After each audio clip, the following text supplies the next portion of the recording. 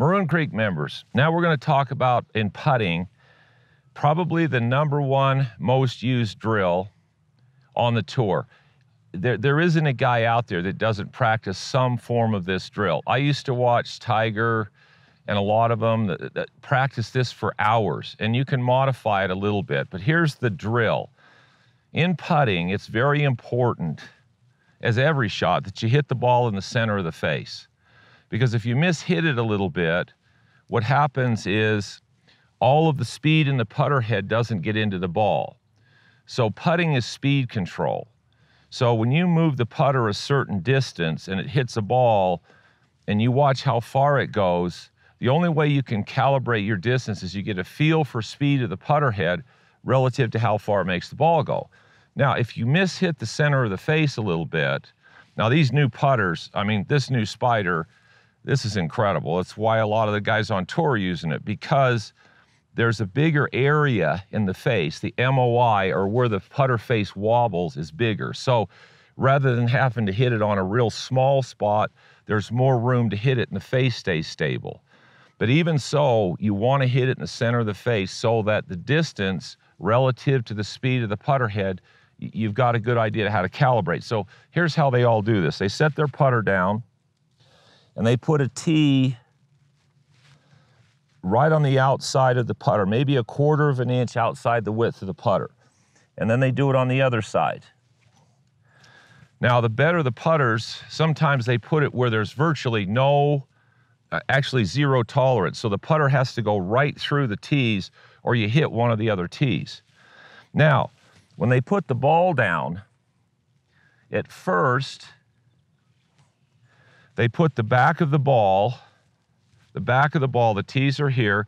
They put the back of the ball right at the front of the tees. So now, and right in the middle of the tees, which is in the middle of the putter face. Now the goal is to hit the ball and not hit the tees. Now, if you hit one of the tees, you start to know what your stroke's doing. Now, a lot of these players, what they'll do is they'll move the ball back slightly.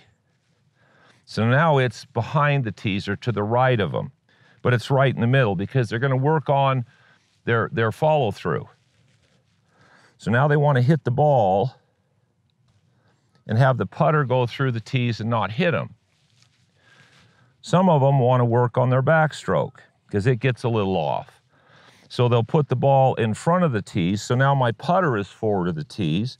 Now they're going to make a backstroke and hit the putt and miss the tees. Now here's the next step to that drill. Almost everybody on tour, if I take this now and I move it about a putter head back, so now there's about six inches, about, about seven inches from the front there's two or three inches behind the front, two or three inches in front of. Now, in this little box, they put the ball in the middle of the box. Almost everybody on tour, from a couple inches behind the ball to a couple inches past the ball, there isn't any face rotation and there isn't any arc.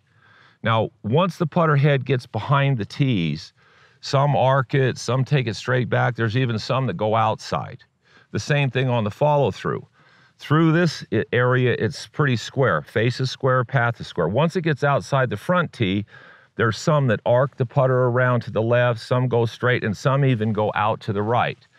But through this area, there's very little face rotation and no arc in the stroke. So now you're going to hit the ball.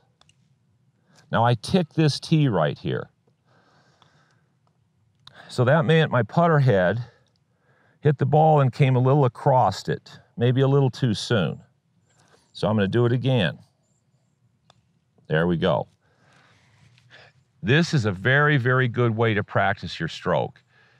Most every tour player does it. They spend hours doing this.